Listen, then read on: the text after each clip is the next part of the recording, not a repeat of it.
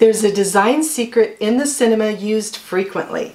And the reason they use it is because it creates a mood for a home. It gives a home character.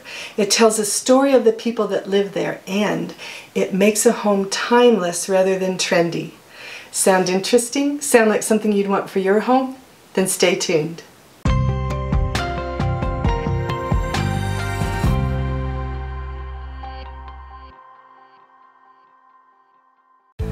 Hi, I'm Marina Coates. Welcome to Cinematically Inspired Design, where we take the design secrets from the cinema and bring them into your own homes. On today's episode, we'll be exploring the cinema's use of a wide range of architectural features. We'll find out how they use them to their advantage, what the effect is, and how you can bring that same magic into your own home. It's not as hard as you think. Let's get started. We could cover a myriad of reasons for using architectural features in a home, but we're going to concentrate on just two today. Number one, to add drama, character, and interest to a home, which from now on I'll just refer to as adding character. And number two, to help define spaces. We'll be using examples from movie homes, and as we examine them, we'll be seeing how they used architectural elements to do those two things one, add character, and two, how they used them to define individual spaces. And what do I mean by that? Defining individual spaces? Well, take a look at these incredible movie homes. Some of them are large, some are small, but they're all interesting. And yet they're all formed out of a simple square or rectangular space, a box, so to speak. The same kind of spaces or rooms that we're given in our homes to work with. But they don't appear to be just a box or a square, do they? They have a lot of life to them. There are different areas within these rooms used for different activities throughout the film that give the room character and make them seem larger and much more interesting than just a square room. Why is that? You've probably already guessed, a lot of it has to do with how architectural features were used in the space that was given. It makes sense to go to the cinema for this, and here's why. Because that is exactly what they are given a simple space to transform into whatever they need to create a mood and tell the story of the people that live there. If you're watching a live performance, a play, You'll see them use the same stage with the same dimensions and just roll out props and furniture from one scene and roll in the new ones for the next, and voila! It's transformed into a whole new room or a whole new home, so unlike the other, but all set within the same confines of the original. From early on, the theater was simply given a stage, set boundaries, to tell the story of the people there, and because of this, they learned long ago how to take a set space, a rectangular stage, and use it to their advantage. Let's learn from them. What you're going to be seeing today is not an open concept plan, at least not in the traditional sense of the word. It's more of a hybrid, a hybrid that's been put to use for years in the cinema. A lot of people love the look of an open floor plan, but when it comes to living in it, they might want rooms that are more defined, yet they still don't want them to feel closed off from the rest of the home, and they don't want to lose that open, airy feeling. I'm going to show you how you can maintain the advantages of an open floor plan, but bring in the hominess, the coziness of individual spaces. Open floor plans are great, but what if you could make them even better? What if you could add something within that space that allowed you to have intimate private areas, separate spaces within the wide open environment? Look no further than the cinema for ideas. Some of these ideas will be for those of you who are building or planning a major remodel. However, many of the ideas will be for those of you who want to work within the space you already have, and you'll see both. Let's start with the apartment from Paris when it sizzles. Almost all of the story takes place within the confines of this main room, which looks to be about 20 feet by 30 feet. It's partially divided by the staircase. Notice that they chose not to have a closed off staircase. You can actually even walk under this one, and it's so beautiful. It's like a sculpture or a work of art in the middle of the room. The railing is thin and elegant with fine appointed details. It sets the tone of the room as well as separating and defining different living areas within the room. A staircase is an architectural element that can be used for more than just getting from one floor to the next. It can add character and help define different spaces. Notice how its placement creates the small sitting area with the fireplace. And also, on the other side, the multi-purpose area with a table and bookshelves that's used for dining, work, and leisure throughout the film. Further defining that space are the columns that hold up the loft above. Notice you don't always have to have tall ceilings to create a dramatic space. This ceiling looks to be only about 7 feet tall and yet it has it all. It has character, it's unique, it's dramatic, cozy, and elegant, all in one. As for drama, get a load of this. Look at those huge curved windows that become a skylight, with all of the lines from the mullions crossing each other, forming almost a plaid pattern. Amazing! The room could have had just that and it would be incredible, but there is so much more going on. Notice all of the detailed moldings everywhere and look at the gridded ceiling underneath the loft. Wonderful! Another architectural element that sets this home apart is the detail given to the doors. Like the rest of the apartment, they are trimmed out with thin lines of gold leafing. They brought French provincial details all the way to the doors, the baseboards, and the trim work. It's not just in the furniture. And notice the arch over the doorway. It's pulled out about five feet, creating a little foyer as you walk in. That adds drama, character, and interest to the home rather than just walking directly into the room. And the last thing we'll look at here is the entrance to the patio. Notice there's a step up from the living area before you enter the patio. That's a common trait in the cinema, adding different levels to a space, because it's another way of layering a room and defining spaces. The windows are nearly floor to ceiling, and you actually enter the patio through the open windows, which is a little quirky, I know, but it's of the time and place. Old apartments in Paris. We probably wouldn't want that in our homes, but the takeaway for us is still there, which is think outside the box when it comes to architectural elements in your home. Moving on now to a home from the movie All That Heaven Allows. There's a nursery in the film with an apartment above, a very small apartment, but because of several architectural features, being small doesn't lessen its impact at all. We see Jane Wyman's character Carrie reading a book when she first enters the apartment, Henry David Thoreau's Walden, which characterizes the philosophy the owners live by, but also describes the flavor of the apartment simplicity with an appreciation for nature. The huge skylight in the kitchen brings the outside in, nature inside. The kitchen is small, but that not only brings in a lot of light, but helps give the apartment its distinct personality. Notice again that although the main room is really just a square, they've placed architectural features in a way that helps define different living areas such as the half wall and post that establishes the kitchen as a separate area, but also allows it to feel open to the rest of the home. The paneling on the walls makes it have a cabin feel to it, and the uncomplicated fireplace harkens back to a log cabin era as well. The apartment speaks of a simpler time, like on Walden Pond, where you didn't need much to be happy. We see hand hewn exposed beams, lots of wood, the fireplace at the heart of the home, and cozy places set aside for reading. Even the light fixtures reflect an earlier time period before electricity.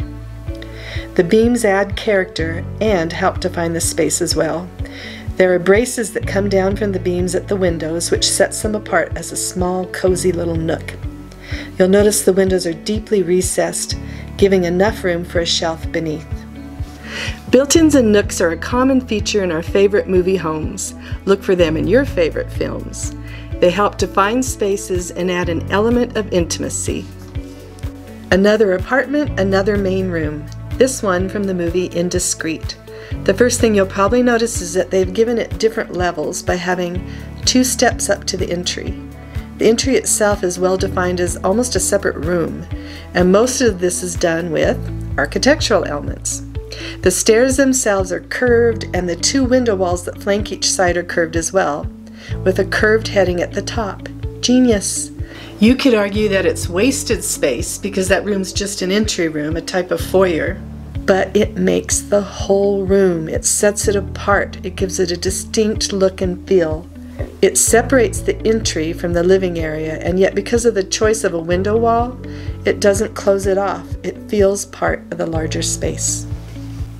They use the same basic idea in the kitchen, which is a very tiny space. Instead of a solid wall between the cooking area and the eating area, they have a half wall with a window on top. It allows light in and yet separates the spaces into two distinct areas, but it doesn't feel closed off. And while we're here in the kitchen, notice the beautiful round window they chose to bring light into the cooking area. Another architectural element that adds character. This is a cramped kitchen, and yet it feels interesting. There's so much detail here. Look at the window in the adjoining eating area. It's deeply recessed, allowing for a plant shelf. Just one more feature that brings life and personality to this tiny space. Look at the attention to detail of the doors in the apartment. There are beautiful tole paintings on each of the panels. The trim around the opening is thick and elaborately detailed. In Ingrid Bergman's bedroom, the doors are decidedly very feminine, but with altogether different details. These may not be the things you would choose for the doors in your own home, but you can certainly learn from this concept that doors matter, and attention to details there will pay off in the overall scheme of the room that you're creating. After all, cinematically inspired design is not about copying rooms from the cinema, but learning and applying the principles demonstrated there. In this main room from A Place in the Sun, we again see a staircase used to divide up the space. It creates little alcoves. We see a bar in one space, and since you can walk under the stairs, we see another separate space in the back off to one side. And of course, the posts that are needed to hold up the stairs help designate those areas as well. Here you can also see that the use of different architectural materials helps define the spaces. We see the large stones lining the wall that carry on out to the exterior, wide planked paneling underneath the stairs, and solid drywall up above. Here's a shot from Bringing Up Baby. I want to look at several different things taking place here. First, let's look at the see-through shelving next to the stairs. This could have been a solid wall with shelving, but it wouldn't have had the same level of intrigue going on. Seeing through it adds a little mystery, a little drama. You wonder what's back there. Then notice the huge stone columns. They add character to the room too. They could have just been solid white and then seen as just part of the wall. They could have even been covered by the wall and they would have served their same function, holding up the beams in the roof. But exposing them and adding stone not only adds to the personality of the room, but it separates the different areas in the home without closing them off. Again, the rooms feel open, and yet they have distinct boundaries. Imagine for a minute that dining room that we see in the background having a wall there with a doorway instead, even if it was a large doorway it would be a whole different look and feel.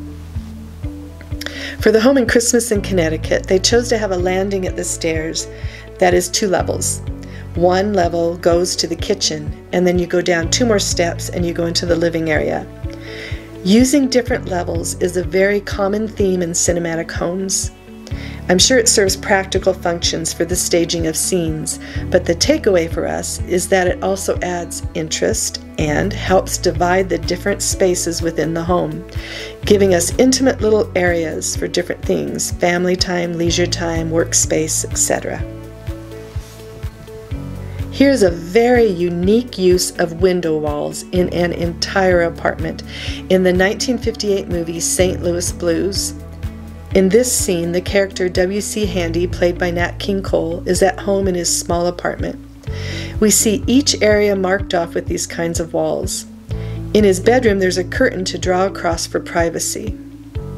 Look at this view here. It kind of gives you a sweep of the whole apartment. Now imagine all of these windows as solid walls it would feel very boxy, very closed off and cramped. And yet, adding the windows doesn't add any extra square feet, does it? Only visually. I doubt very many people would want that many walls of windows going on in their home, but I use this extreme example to show you how much it can open up an area while still keeping the rooms separated. The stone on this fireplace in Send Me No Flowers extends beyond the mantel to become a half wall, and extending behind that half wall is a bar area. Notice it's left open. The post in the corner and the trim up above marks it off as a separate area, and yet not using full walls keeps it from being closed off from the rest of the rooms. On a side note, I love that they didn't add a post on the other end of the overhead trim. Just a little detail that says, we're not sticking with convention here.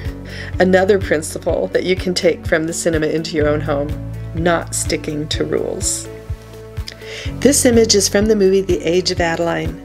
Look at the amazing technique for division of space implemented here. The two arches separate the kitchen from the dining area. It adds charm and helps divide the areas at the same time, all while creating an open feel to the space as a whole.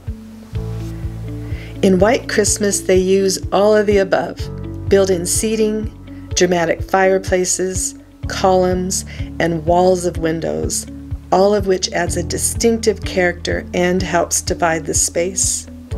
I love what they did here with the office behind the front desk. It's a standalone box. The walls don't go all the way up to the ceiling of the room it's in. It's open on top, and it has windows on all sides, both interior and exterior. They did a similar thing over by the stairs. Instead of a solid wall there, it's a wall of windows that don't go all the way up to the ceiling. I love that look. And it again separates yet unites. Notice the different levels here too. That adds interest as well. And then there's just that big old wall of windows lining the hallway that leads to the entertainment barn. Brilliant set design. But let's step away now from examining individual movie homes and do a quick run through of different architectural elements in various cinematic settings. We'll start with windows. As you're shown these different examples, what I want you to be looking for is how out of the norm these windows are. The fact that the set designers stretched the boundaries of what we typically expect to see in a window is what allows these windows to really stand out. When you're choosing windows for your home, whether it's a new build or you're replacing windows, think outside the box and decide would putting more money into the windows than I had planned on make a marked difference in the room? There are times when that change alone will transform your room. It may be well worth it. Look what it did for these rooms. And now the same thing with doors. Perhaps none of these will fit the style you would want for your home. But what I hope it does do for you is get you to think in a more creative way about the doors you put in your home. None of these are standard builder doors. They took the time to think of the details right down to the doorknobs and the trim. And it pays off. It's just another element that sets movie homes apart from the typical, from the expected. The cinema loves a good room divider. Take a look at these screens, grids, open shelves, slats, and other features that offer a slightly obscured view of the room beyond. Does it get your mind going? Think of simple ways you might be able to add a little mystery and divide a room up at the same time in your own home. Get creative. Have fun with it. Here's just one example. Some of you may have a layout similar to this one in your own home. If you're wanting a little more separation, you can add a bit of a wall on each side, a little more than the depth of your cabinets, and come down about a foot overhead. You can also add a beam or brick columns to help further define the separate areas. Let's look at those changes again. Here it is before, completely open, and now with the walls pulled out, a beam added overhead, and now with brick columns. You're in control of how open you want your floor plan to be. It's time for viewer questions. And today I'm going to do something a little different. I'm going to answer a bit of a composite question from different comments and questions I've been reading online. It seems that some of you, although you love the open concept plan, are having a little bit more trouble living in it than you had pictured. So here's some recent comments. While there are some things that are appealing about an open floor plan, such as being full of light, there are things I don't like. I know it's supposed to make a place seem bigger, but I think it makes it seem smaller. Everything and everyone is just in one big room. And I don't like the idea of people seeing a sink full of dishes from the living room when they come over for a visit. I hear that one a lot. So this next segment is for you. I know there's others out there that have similar feelings because I've read your comments online. In today's episode, you've already seen some possible solutions, but let me get more specific and give a before and after room transformation, showing another concept that can be applied in either a new build or a remodel within the space you already have. Here's a before example of an open floor plan with a kitchen, eating area, and living room all in one large space. I'm going to walk us through this space now so you get a feel for what it would be like walking around inside of this kind of open floor plan.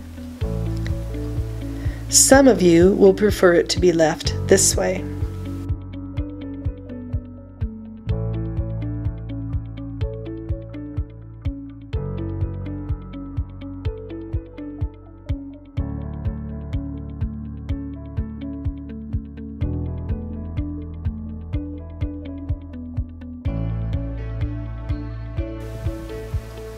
Now let's take that exact same space and add a wall with two openings in it, one large and one more typical size. And we're going to walk through the same space as before, even taking the exact same path through it, so you can compare and see how adding this element affects the feeling on both sides of the wall. Some of you will prefer this setup.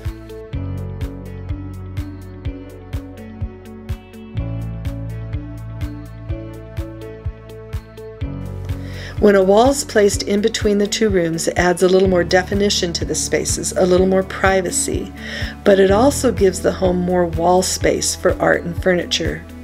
As in this case, where a pull down secretary desk serves as a homework space and extra storage in the kitchen.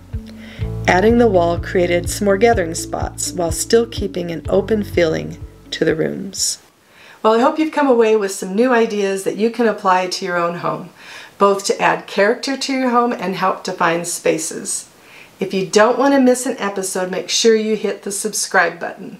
But as for today, that's a wrap. See you next time on Cinematically Inspired Design.